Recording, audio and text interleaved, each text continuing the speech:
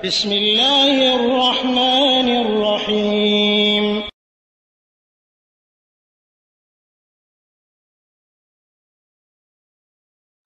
বিসমিল্লা রহমান রাহিম আলহামদুলিল্লাহ আলমিন ওসলাত ওসলাম আল্লাহ শফিলাম্বিউল মুসলিম নবীন মোহাম্মদ ও আলা আলিহি ও আসহাবিন আহমাবাদ ওয়ালাইকুম আসসালাম রহমতুল্লাহ বরাকাত সম্মানিত ভাই, আপনি প্রশ্ন করেছেন চল্লিশ দিনের নামাজ না চল্লিশ ওক্ত নামাজের ব্যাপারে যে হাদিসটি উল্লেখ করেছেন, এবং সবাই যে বলে যে চল্লিশ ওক্ত বা চল্লিশ দিন নামাজ পড়লে মুনাফিকি থেকে নাম তার কাটবে এবং যার নাম থেকে মুক্তি এবং জান্নাতের নাম লেখা হবে। এইভাবে হাদিসটা সহি যেটা, সেটা হচ্ছে চল্লিশ দিন, চল্লিশ অক্ত না।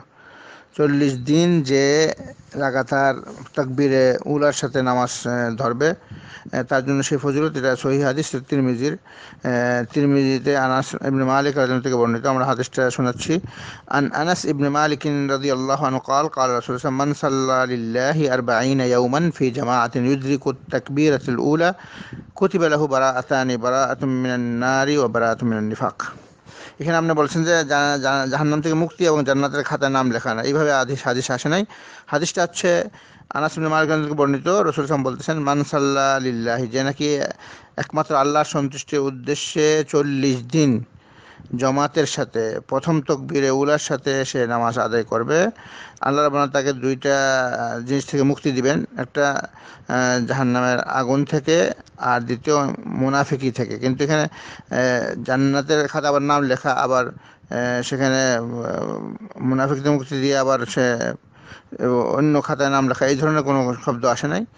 যেটা আসছে সেটা হচ্ছে তাকে দুইটা, দুই জিনিস থেকে মুক্তি দেওয়া হবে। মুক্তি পাবে, সে জাহান্নামের আগুন থেকে এবং মুনাফিকি এই কর্মকাণ্ড থেকে সে মুক্তি পাবে। তো এই হাদিসটা চল্লিশ দিনের সাথে সম্পর্ক, চল্লিশ অক্ত না। দ্বিতীয় প্রশ্ন ছিল, আপনাদের মসজিদ নবীতে গেলে চল্লিশ অক্ত অবশ্যই পড়তে হবে, এটাও মিথ্যা। চল্লিশ দিনের, চল্লিশ অক্তের হাদিসটা দুর্বল এবং সহিনা সহি হচ্ছে চল্লিশ চল্লিশ অক্তেরটা সহিনা কিন্তু চল্লিশ দিন। চল্লিশ অক্ত নামাজেরটা যে জরুরি পড়তে হবে, এগুলা মানুষের নিজস্ব মন গড়া চিন্তা। কিন্তু রসুল আসলাম যেটা বর্ণনা করছে সেটা হচ্ছে চল্লিশ দিন, অর্থাৎ এক মাস দশ দিন।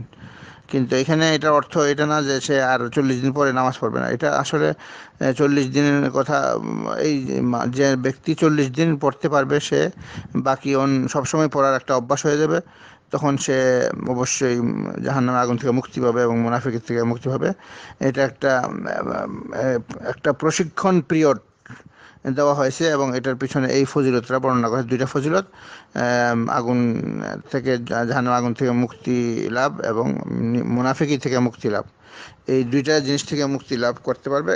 কারণ সে যদি চল্লিশ দিন পড়তে পারে, বাকি কিন্তু এটার অর্থ অনেকে যদি ভুল মনে করে যে আমি চল্লিশ শক্ত পড়লাম, এরপর আমি ছেড়ে দিলাম, এটা না।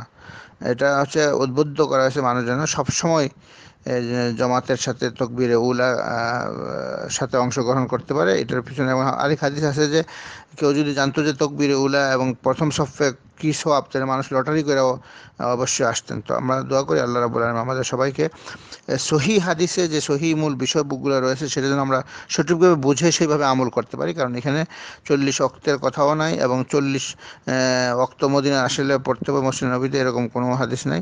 যেটা হাদিস রয়েছে, যে কোনো মসজিদে, পৃথিবীর যে কোনো প্রান্তে মানুষ থাকুক, সেখানে যদি মসজিদ থাকে আর এই মসজিদে জামাতে নামাজ হয়, তাহলে তার উচিত সেই মসজিদে তাকবিরে তাহরিমা এবং তাকবিরে উলা। তাকবিরে উলা যেন সে অংশগ্রহণ করতে পারে ইমামের সাথে।